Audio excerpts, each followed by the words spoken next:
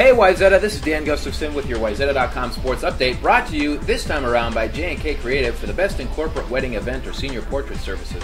Call J&K Creative. Right now, J&K has a great two for the price of one senior portrait special. For all the details, call Jon at 952-473-0201. Wayzata Girls Basketball 2009, Trojans lose a heartbreaker to number 4 Hopkins. Despite a valiant effort against the number 4 ranked team in the state, the Wayzata girls basketball team lost a heartbreaker 56 to 55 to the Hopkins Royals on Tuesday night.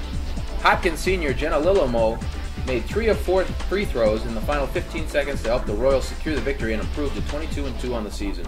With the loss, the Trojans fell to 12 and 9. 12 and 9. With the Royals leading 53 to 49, Wayzata senior Kate Thompson nailed a long three-pointer with 17 seconds remaining to cut the lead to 53 to 52. The Trojans fouled Lillemoe on the ensuing inbound play, and Lillemoe converted both free throws to push the lead out to 55 to 52.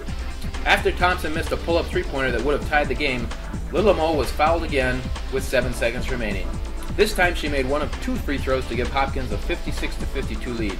Thompson came down and made another three pointer with two and a half seconds left to cut the lead to one, but the Trojans had no timeouts remaining, and Hopkins was able to run out the clock without inbounding the ball.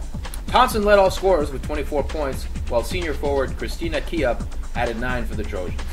The Royals were led by Lillemoe, who scored 14 points, while senior Kara Ellefson added 13.